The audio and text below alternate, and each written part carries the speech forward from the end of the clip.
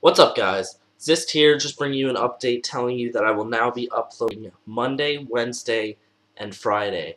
I'm going to do this because I haven't been getting enough views on all my videos and I've been uploading every day for three weeks, almost four weeks straight, so I thought I might as well just start uploading and spacing them out, giving you and giving people enough time to watch my videos. It'll end up changing uh, when I get more subs and likes and comments and all that fun stuff. So yeah, just bring you an update. Uh, be sure to follow me on Twitter and leave a like if you enjoyed and subscribe if you're new.